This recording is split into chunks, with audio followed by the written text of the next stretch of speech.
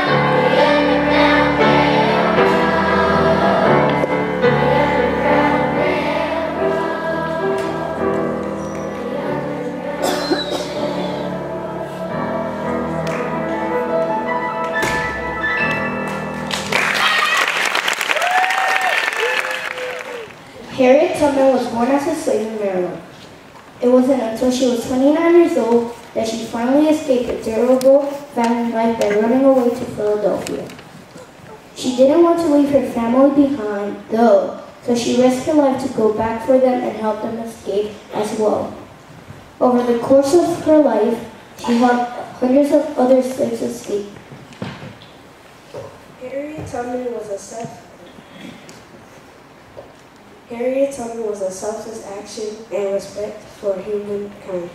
Her has lived on this with her story. Her life continues to inspire all those who have lived and learned of her, her heroic deeds. Today we should live to like Harriet Tubman and stand for what we believe in. No matter the cost, we should always remember to be light to others and let our goodness shine. thank you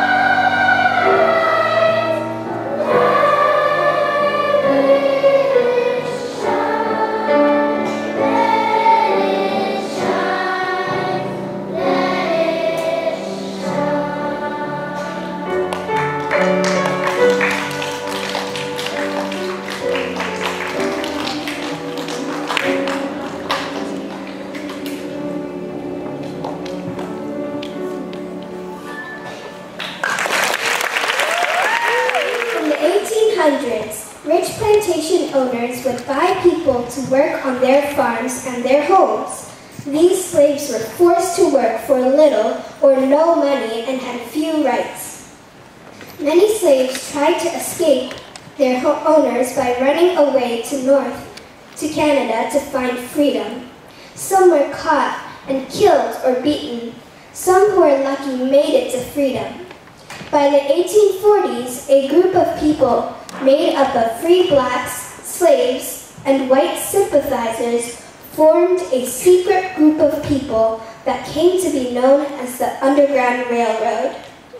The Underground Railroad wasn't a real railroad at all, nor was it actually underground. It was a secret trail to the north that the slaves followed to freedom. It was nicknamed the Underground Railroad because it had houses and barns that the slaves stopped at to hide during the day, much like a train stops at stations along its route. Underground meant that it was kept a secret. It was very important that no one speak of it so that the slave owners did not find out about the runaways. Because of the secret, slaves had to travel in the darkness of the night. They had to be ready to leave any second for they never knew when the chance to escape would come.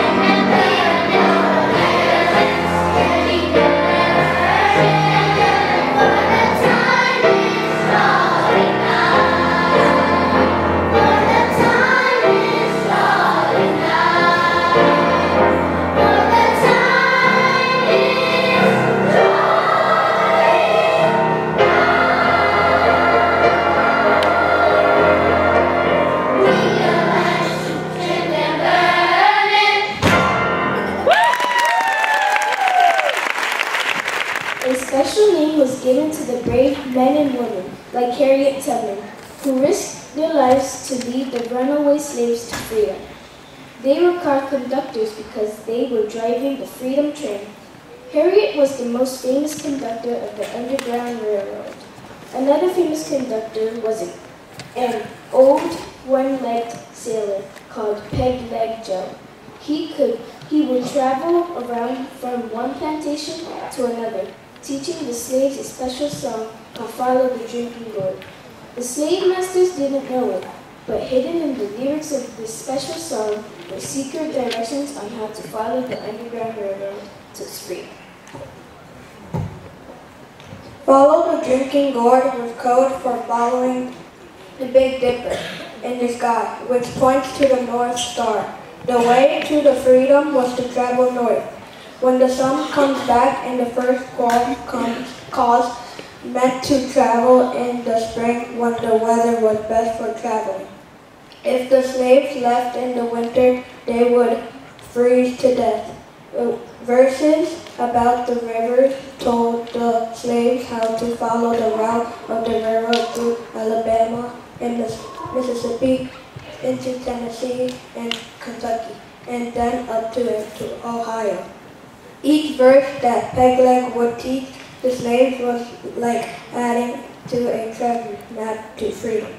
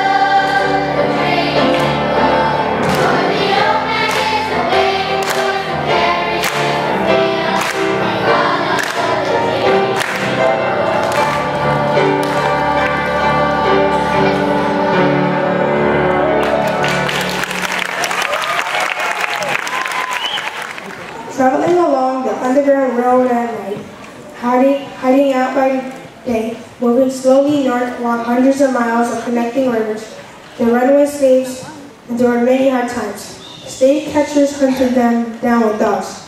Many slaves who were caught trying to escape were killed. Even after crossing into the free states, where owning a slave was against the law, slaves could still be captured and returned to their masters for a reward.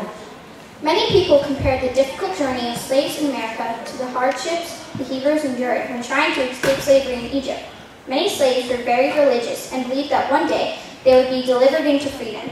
They called the free states the Promised Land and nicknamed Harriet Tubman Grandma Moses because just like Moses in the Bible stories, Harriet delivered her people to freedom.